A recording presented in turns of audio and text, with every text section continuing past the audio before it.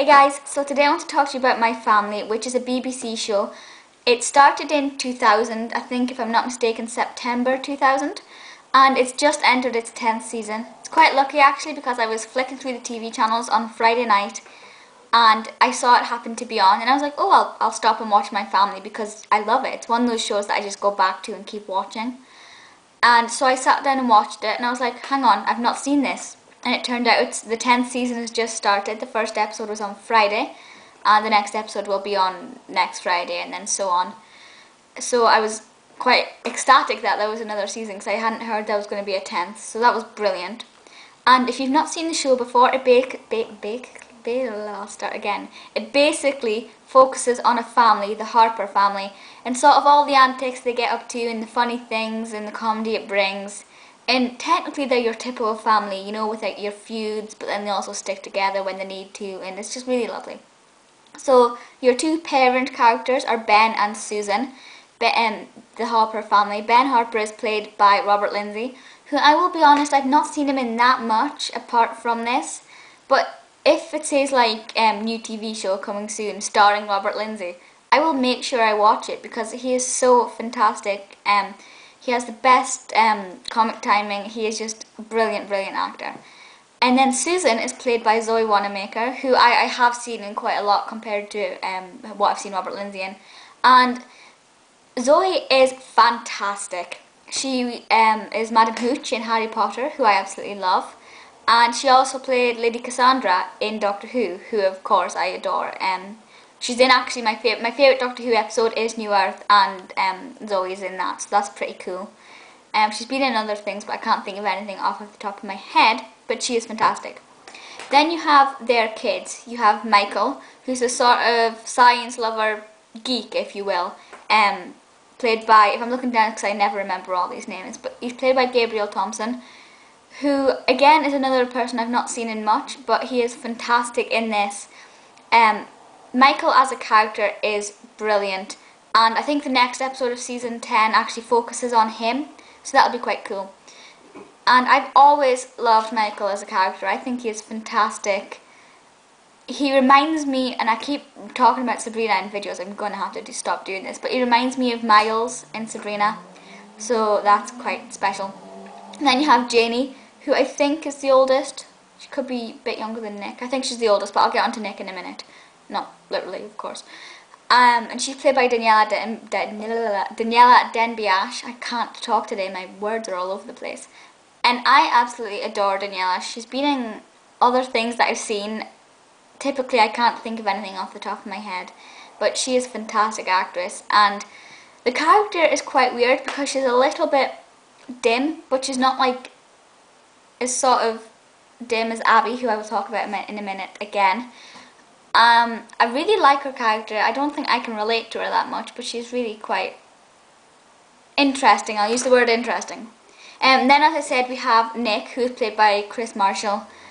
And he hasn't been in quite a while. He left quite a few seasons ago, which is a shame because I love the character. He's your sort of... I'm trying to um, retract from using the word stud, but that's the sort of impression you get, you know. Um, not the brightest, um, sort of looks alright, kind of. Um, so yeah, he's a fantastic character. I don't really know how you describe Nick. It's best for you to watch it and see the character yourself. But he is basically, um, he contrasts with Michael. That's the only way to look at it. He's the complete opposite of Michael. So that in itself brings hilarity to the show. Like I said, it's a shame he's not in it just now. Um, I wish he was, but never mind. We've still got the other seasons to, to watch if you want to see him in it. Then you have Abi, who's played by Siobhan Hayes, who I absolutely adore. Um, she's done loads, she's been in EastEnders and things. And the first thing I like about Abi is how much she reminds me of Phoebe from Friends. Siobhan kind of looks like Lisa Kudrow. They're not like twins or anything, but there's a kind of similarity in their appearance. I think it's mainly the long blonde hair. But Abi's character is quite dim. You know, she's a bit silly and she's she's very fun and things and she's just that sort of really bubbly, fun character and I'm trying to think how she's related to the family. I can't actually remember it because she's not one of their um, kids, I don't think, is she? I've never really paid attention to that, but yeah, she's a fantastic character and like I said, the whole Phoebe connection is brilliant. So that is fab. Then Abi dates Roger, who works in the the um what's the word for dentist place? What's I'm totally thick today. You know that I can't think of anything. I'm knackered. Anyway, um, so Roger Ben is a dentist and Roger works in the dentist with Ben and then Abi dates Roger and that brings his character into it more. And Roger is played by Keiron Self and he is fantastic. He's hilarious. He's a little bit like Abi, so their personalities go really well together and that just adds to the humour of the show and it's just so lovely. Um, and then before I forget to mention him, you have Kenzo because I knew I'd forget to mention him. Played by now, it, I don't know if it's Taylor or Tyler Marshall because it's T A Y L E R, which is like a cross between Taylor and Tyler. Um, but anyway, I don't know if he's related to Kris Marshall. Perhaps he is, or perhaps they just have the same name coincidentally. And he is a fantastic young actor. And um, obviously that is um, Janey's son. Kenzo is Janey's son, and he is adorable. I don't know how old he is, but he's under the age of ten anyway, and he is so sweet he was in season 10 first episode and he's just adorable. Um, it's, it's kind of weird having a, a, child in this type of TV show because it's like the comedy in this is kind of like a watered down version of Two Pints of Lager which I will do a video on at some point. So it's kind of like a mild version. It's a pre-watershed version of this and it's really nice so it's really weird having a child in it obviously um, when Kenzo was a baby, there was a baby in it, but that's kind of different. But when you've actually got a child who can pick things up and learn things, you've got to sort of, I suppose, watch the humour, but it's really fantastic and brilliant. Um, in a way, my family does remind me of Friends. It's like Friends, but the family version. It's like it's like what Friends would be like if it was called Family. That's I think that's the reason why I love it so much. Is because it's very much like Friends. The humour is very much the same. So if you love Friends, then you will love this. That's basically what I'm trying to say. The show was created by Fred Barron, who I checked on IMDb because it wasn't a name I recognised, um, but he worked with After You've Gone, which is one of my other favourite BBC shows. Um, and he also did other things. He did Caroline in the City, which I'll be honest, I've not seen, but it had the word Caroline in it, so I thought I'd mention that one. Um, each episode is 30 minutes, which I think is the perfect time for a comedy show any longer and the plot itself starts to get lost and then they're just throwing in punchlines all over the place and any shorter and it's sort of just rushed. So for me 30 minutes is the perfect time not just for comedy shows and sitcoms and things but just in general for a program.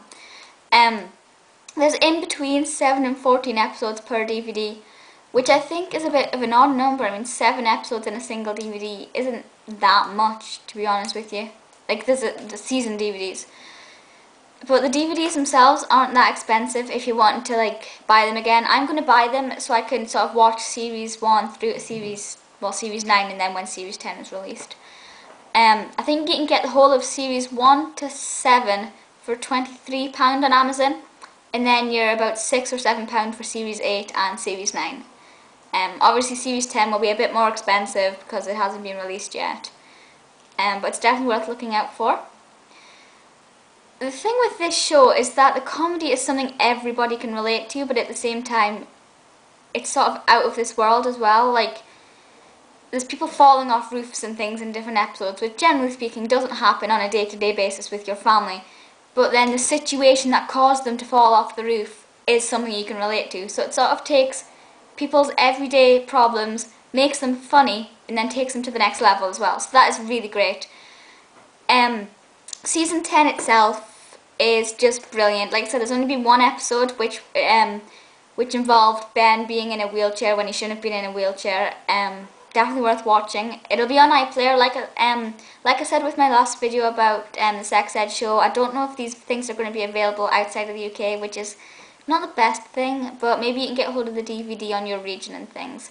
Um, this is all I have time to say for. I really blab on too much, don't I? Um, so feel free to leave comments and things and let me know your thoughts. I love this show so, so much and I cannot recommend it enough. It is definitely worth watching and I promise you, you will love it. Um, so feel free to leave comments and things, video responses and let me know your thoughts and I will see you next time. Bye guys!